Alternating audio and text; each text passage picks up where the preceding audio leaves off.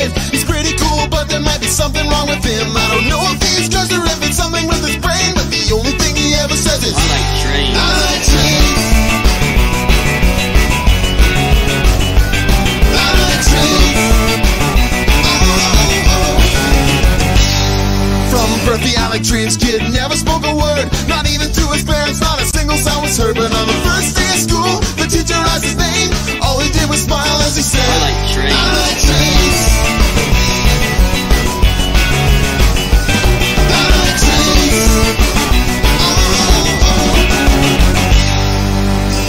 On some Ritalin to see if that would help. The doctor found the perfect dose and asked him how he felt. He stared at the doctor with a little creepy smile, and the Trains kid said, I feel great.